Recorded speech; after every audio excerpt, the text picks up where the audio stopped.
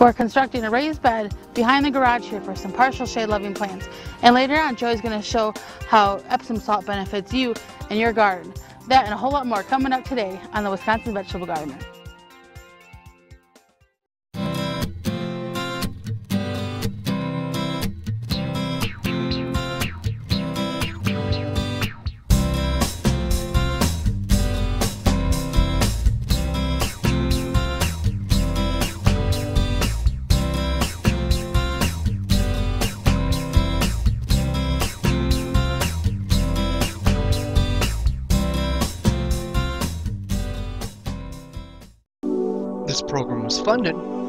By the following. At dollarseed.com, all of our seeds are only a dollar a pack. And we have online resources that teach you all about the rewarding hobby of growing your own plants, flowers, herbs, and vegetables. Imagine the joy you'll feel when your children actually help you harvest your first garden crop, or the pride of knowing you'll never need a florist again.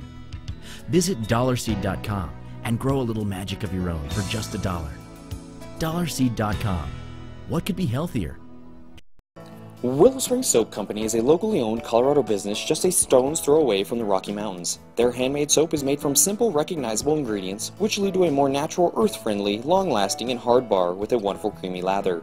They make soap using the cold kettle process with a specially formulated recipe of 100% vegetable oils. They use traditional methods that produce a true soap instead of the commercial synthetic alternatives that can dry out skin. Go to www.willowspringsoap.com to get a fresh and natural clean, handmade in the Rockies. The Wisconsin Vegetable Gardener supports the following. Hunger Task Force believes that every person has the right to adequate food obtained with dignity. They're providing food for people in need. With their 151 acre working farm and fish hatchery in Franklin, Wisconsin, volunteers are needed daily. You could plant seeds in the greenhouse, ride the transplanter, or you can make an instant $10 donation from your mobile device by texting food to 52000. For more information on how you can help end hunger, visit hungertaskforce.org. Welcome to Wisconsin Vegetable Gardener. I'm Joey Baird. This show is dedicated to the average gardener, simple home living, and using what you already have. We're on the back side of the garden today, behind the garage, and we're going to construct a small raised bed out of some items that we found along the side of the road, some scrap lumber. Now, it's going to be small. It's one foot wide by six and a half foot long.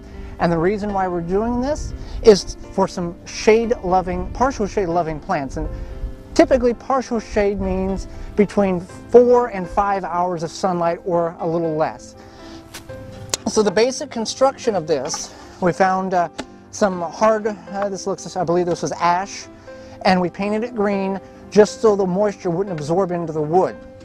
And we cut it down to the, the size that we had, had, which was one foot wide, and we wanted to keep it one foot wide because we wanted to be able to get the lawnmower through and to cut around the perimeter of the garden because in the area that we live in we have to keep three foot off adjacent property. So we, we've accomplished that. Now you could go about constructing this raised bed by putting screws in the sides and constructing it that way to make it nice and, and solid. Well we're just going to basically friction fit it together. Meaning we're going to take these sticks here or this scrap lumber and we're going to just hammer in the boards on the outside so when the soil hits the inside it will have some uh, structure to it and it won't collapse on itself. So basically we're just going to put it, the, uh, the uh, bed together here. Basic, uh, just need a hammer, get it nice and tight against the uh, board there. And I'm going to let it hang above just a little bit. Now I want to get this side down here a foot away from the wall, which is where it's at there. And this is the smaller piece that we have because our, the boards that we found was different sizes. So we're going to uh, add on to the long portion of the front of the bed here. So I want to get the sides together and then we can get this front all solid together with the stakes.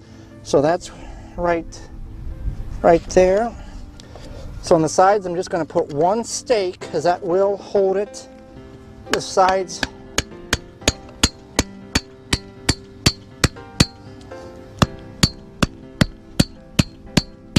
And these stakes that I'm using, they're about 14 inches long. I just took some scrap lumber we had in the shed and cut it down to about 14, 12, 14 inches long.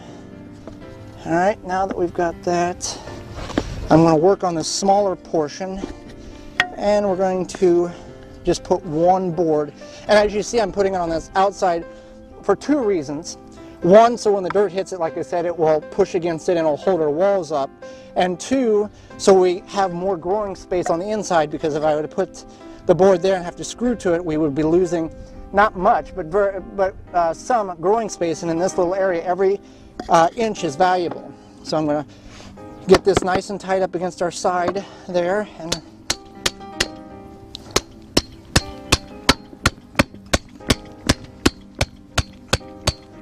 All right. Now we're going to go with the long portion here. We've already put a stake on this corner here. So with the long portion, I'm going to put two more. And the way I'm going to do where the separation is here, I'm going to take the widest scrap lumber I have and split the difference so there's a support on both sides. So we'll do that one first.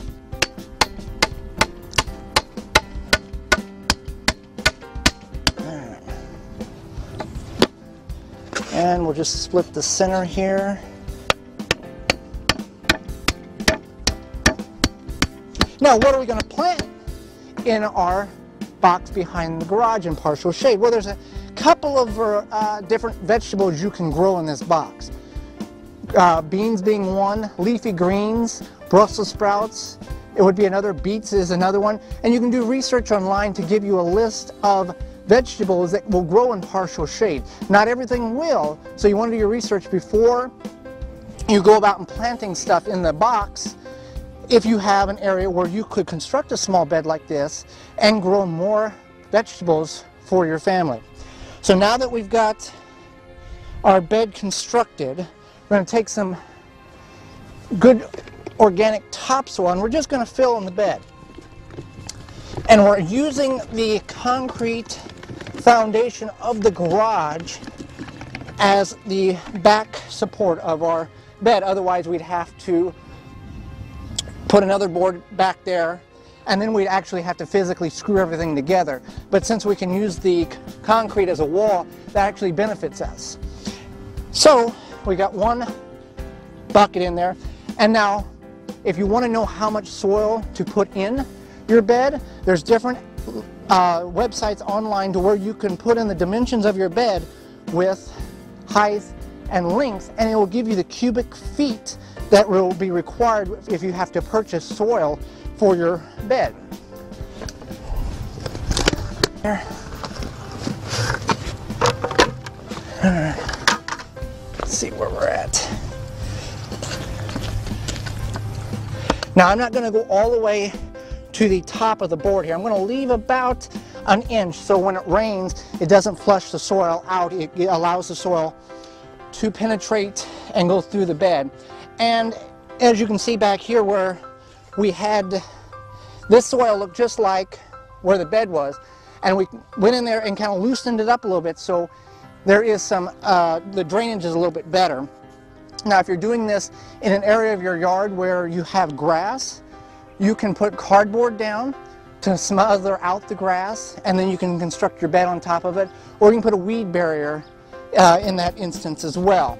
So we just, uh, I'm going to say two more buckets here will finish the completion of our soil.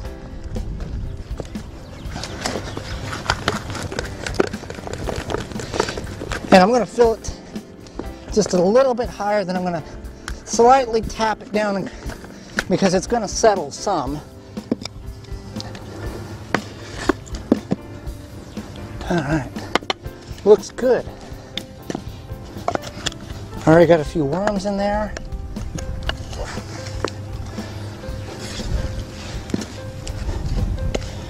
All right, so now, now that we've got it constructed, it's time to start planting the seeds. So that's what we're going to do right now. So we got our bed constructed here and we're going to plant or begin the stages of planting. Now, uh, anytime that you're going to plant a small bed like this, you want to remember what the end result of the vegetable or herb or green that you're going to plant will be. We're going to plant some Swiss chard here. We're going to plant two plants. Now, a mature Swiss chard plant is going to get 12 to 18 inches tall and about 6 inches wide. So you don't want to take these icicle radishes and put them right up next to it because you think you're going to save space. It's not going to work. You're going to shade the radishes out or you're going to shade, one of them is going to have a disadvantage on the other. So it's just best to evenly space, even though early when you're planting it looks like, oh, I'm wasting a lot of space here. You're not. Uh, because the end result will show that uh, these plants will expand, grow, and fill in the box very nicely. So we're going to take the Swiss chard, I'm going to plant two Swiss chard seeds on the end here.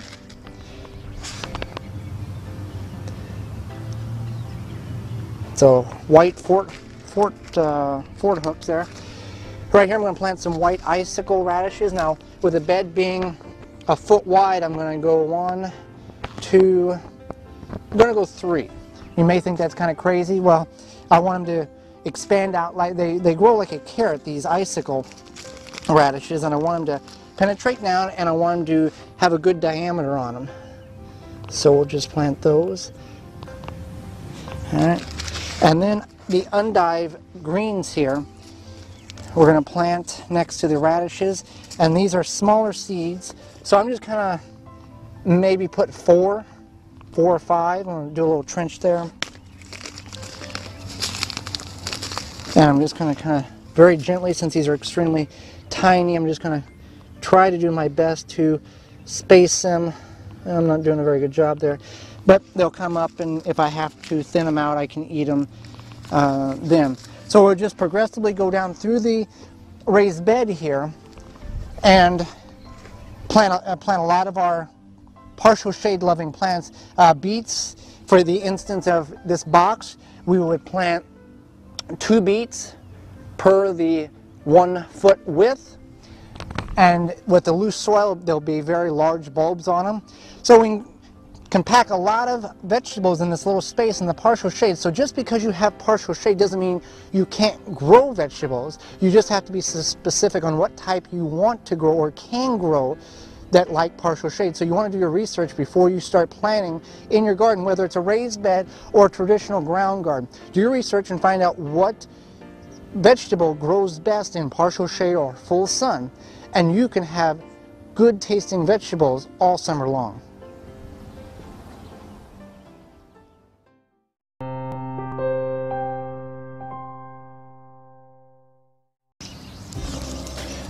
Shallots are part of the onion family, but they have a much milder taste and flavor. They can be pickled or be cut up in a salad and they don't overwhelm the, the uh, food that you're putting it in. Now, shallots, unlike onions, grow similar to garlic. I got a couple examples here. You would plant one of these bulbs in the ground and all these other bulbs will emerge from that one bulb, very similar to what garlic does. So you can save the smaller bulbs, these are organic ones we got last year, and you can save these smaller ones, break them apart, and then plant them in the ground. Now I was doing some work on the high end of the garden there, and I found some that we planted last uh, June, July, that we had a really dry summer, and it didn't, they didn't come up, but they did, they have already now. So what I'm going to do is, and you can kind of see the same kind of structure here from the ones that we've cured to the ones that's uh, that came up. So I very carefully dug them out of the ground and I'm just going to plant this whole lot back in the ground as I did find them on the high end of the garden. And we're going to put them here and we're going to plant all of them together. We're going to plant the uh, ones that have coming up in one row and then the ones that have not started yet in the other and we'll see how they do. Um, if you do find vegetables like that, they're coming up in random spots in your garden, you can always, uh, if they're like onions or shallots, or tomatoes for instance, you can very delicately dig them up and move them to a better portion of the garden or where you're going to put that particular crop for the year. So couple things with these shallots with these that have come up already, I'm just going to bury them back the way I found them in the ground and just cover them up. Now with the ones that have been cured and have not had any growth on them, I'm going to take and just gently push them down, just like an onion set bulb, with the root portion in the ground. And now, for some reason, in a lot of areas, pigeons like these things. Well, they don't like to eat them. They like to come by and pull them out of the ground and nibble on them and say, I don't like this one, let me try the next one. If you have problems with pigeons pulling your shallots out of the ground, after you plant them, you can put some kind of netting over top of them to protect them until the roots get established. So, I'm going to take, for instance, here, you can see very easily the um, one that I pulled out of the garden. That was one bulb that has begun to separate and grow two stalks out of it.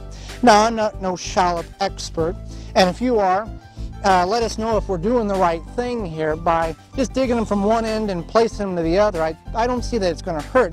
They're very hardy, uh, very tough plant. They're kind of like, uh, like I said, like onions. So I'm going to plant this one uh, down there. Now when you're planting your onions, you want to go, or you're planting your shallots that is, you're wanting to space them about seven to nine inches apart to give them proper growth. So when they expand and they put their bulb on, they're not pinched against one another. Now last year, we planted ours in some dresser drawers. They did really well. So you don't have to plant them in the ground. You can plant them in a raised bed or a container. Does quite well also. And if you've never planted shallots, go ahead and try it. Stores still have some sets out there. They are a little more on the pricey side than traditional onion bulb sets. But if you do like we did and have the organic kind, then you can save them from year after year, plant the smaller ones, and you can continue your shallot uh, harvest for years to come with just a minimal amount of cost. So it's just that easy to plant shallots in your garden.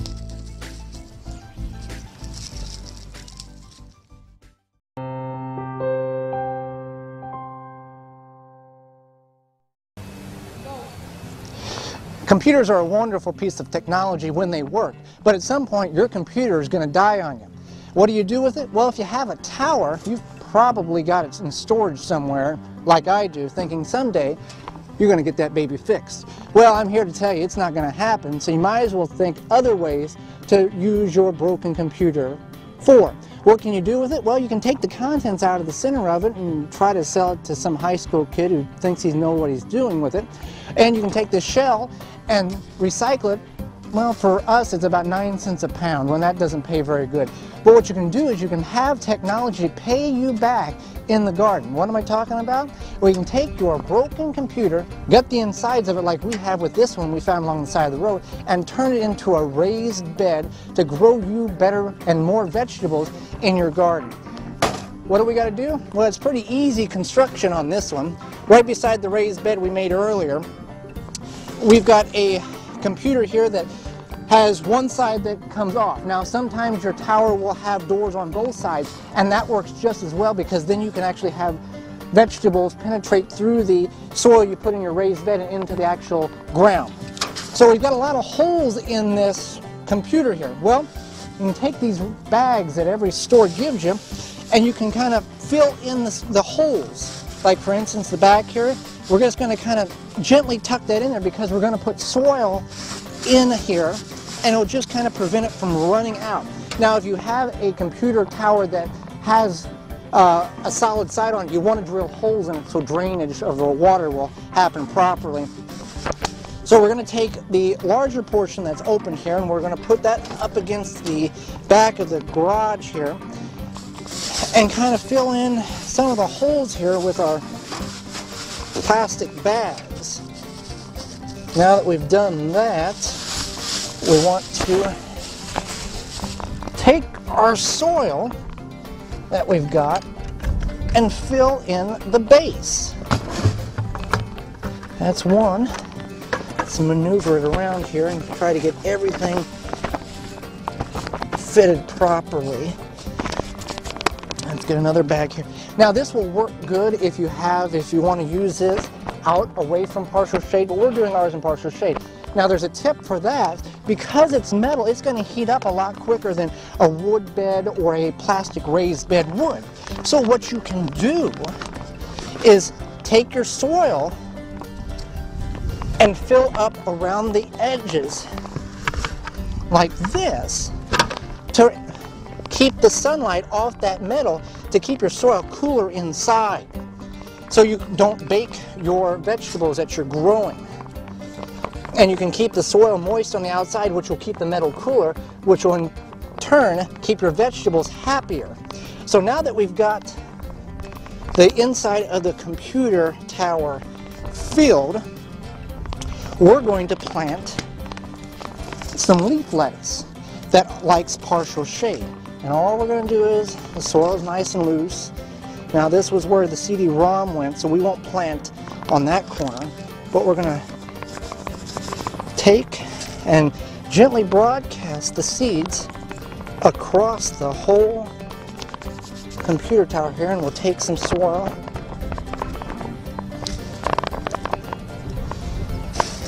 and get that covered there. So just another way you can reuse items you already have and now it's the time that technology is going to pay you back with some really good lettuce for supper come about a month and a half from now.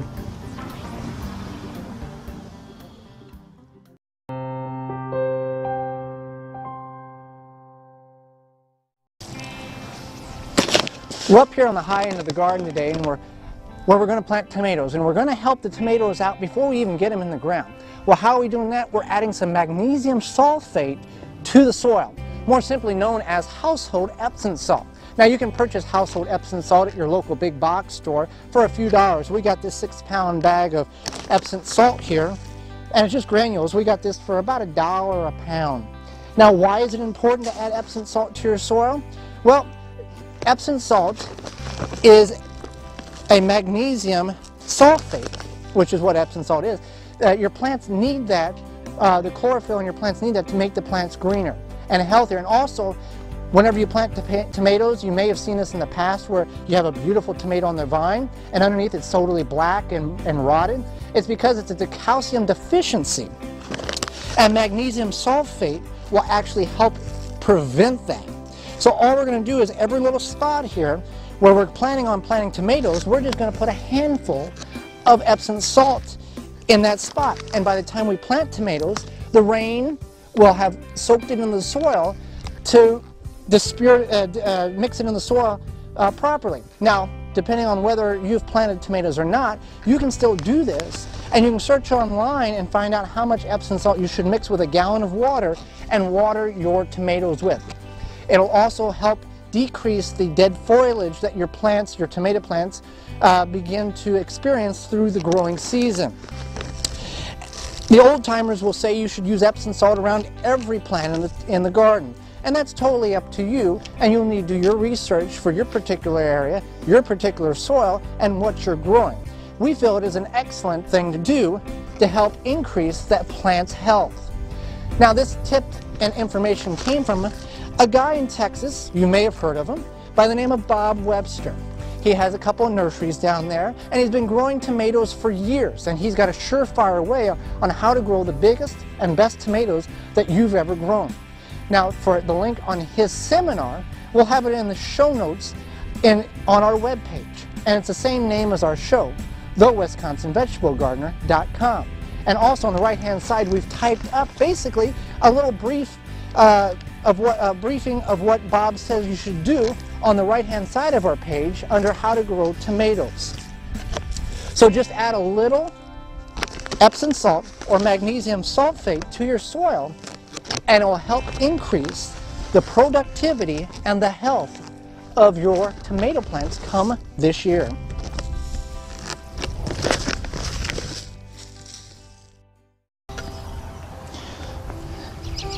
Well, that's all the time we have.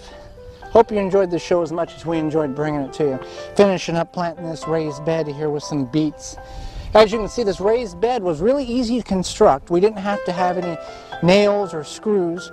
We just had to have some good organic soil and some boards that we found along the side of the road. And you can construct one too as elaborate or as simple as you want it to be. And planting those shallots. Those are a sweet delicacy that with a little milder taste than an onion that if you haven't grown before, really easy to grow. Go ahead and put some in the ground and you'll be growing them from now on year after year. For all of us here at the Wisconsin Vegetable Gardener, I'm Joey Baird encouraging you, take a child gardening and start growing some memories. This program was funded by the following. At dollarseed.com, all of our seeds are only a dollar a pack. And we have online resources that teach you all about the rewarding hobby of growing your own plants, flowers, herbs, and vegetables. Imagine the joy you'll feel when your children actually help you harvest your first garden crop, or the pride of knowing you'll never need a florist again. Visit dollarseed.com and grow a little magic of your own for just a dollar. Dollarseed.com. What could be healthier? Willow Spring Soap Company is a locally owned Colorado business just a stone's throw away from the Rocky Mountains. Their handmade soap is made from simple, recognizable ingredients, which lead to a more natural, earth-friendly, long-lasting, and hard bar with a wonderful creamy lather. They make soap using the cold kettle process with a specially formulated recipe of 100% vegetable oils. They use traditional methods that produce a true soap instead of the commercial synthetic alternatives that can dry out skin. Go to www.willowspringsoap.com to get a fresh and natural clean, handmade in the Rockies. The Wisconsin Vegetable Gardener supports the following. Hunger Task Force believes that every person has the right to adequate food obtained with dignity. They're providing food for people in need. With their 151 acre working farm and fish hatchery in Franklin, Wisconsin, volunteers are needed daily. You could plant seeds in the greenhouse, ride the transplanter, or you can make an instant $10 donation from your mobile device by texting food to 52000. For more information on how you can help end hunger, visit hungertaskforce.org. The show never ends on our Facebook page. Keyword Wisconsin Vegetable Gardeners. Like the page and continue the discussion there. You can now follow us on Twitter, see what we're up to and what we're doing at the garden. The address, the W-I Veg Gardener, G-A-R-D-E-N-R. You can email us at the W-I Veg Gardener at gmail.com with your questions, comments, or suggestions about the show.